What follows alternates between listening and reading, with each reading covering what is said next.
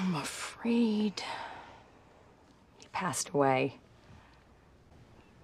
It's okay to be sad, honey. You two were really good friends. That must be quite a shock to hear that Walt's dead. I'm okay. Yeah, buddy. Come here.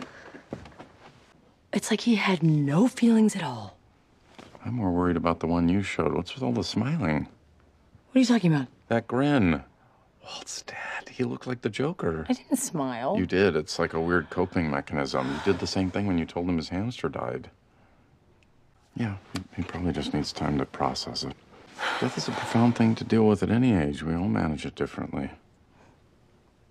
Some people lock up their feelings, others reach out for comfort, finding some way to reaffirm their connection to life. Are you joking?